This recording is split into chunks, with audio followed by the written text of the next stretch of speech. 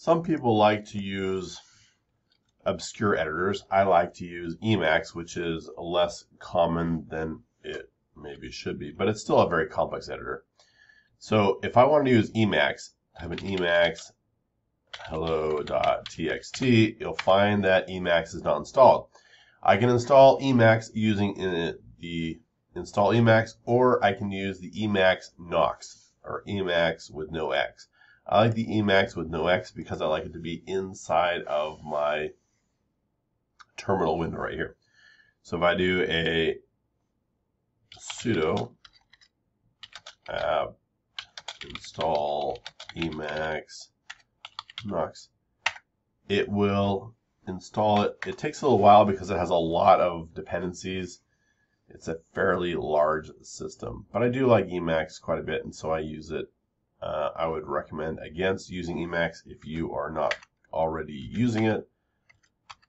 But if you are using it, then go ahead and install it. Um, all right, so one of the things that I just skipped through basically there was it wanted to know how I wanted to set up my mail system so I could read. So Emacs can actually read mail. It can do all kinds of other things. It has built-in plugins for everything.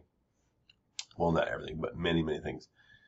Right, once you get Emacs installed, after a minute or so, you can go ahead and use Emacs on the file, hello.txt. All right, so now I can go ahead and type in hello world. And then when I want to save it, I press a key combination, Control X, Control S for save, then Control X, Control C to exit. So once again, I am in this file. Goodbye. I press Control X, Control S to save, Control X, Control C to exit. Uh, that's probably the easiest way to get, get going on Emacs. Um, maybe not the easiest thing to learn, but something there. The uh, other thing is if you're typing stuff in, you can press Control K, delete lines right there.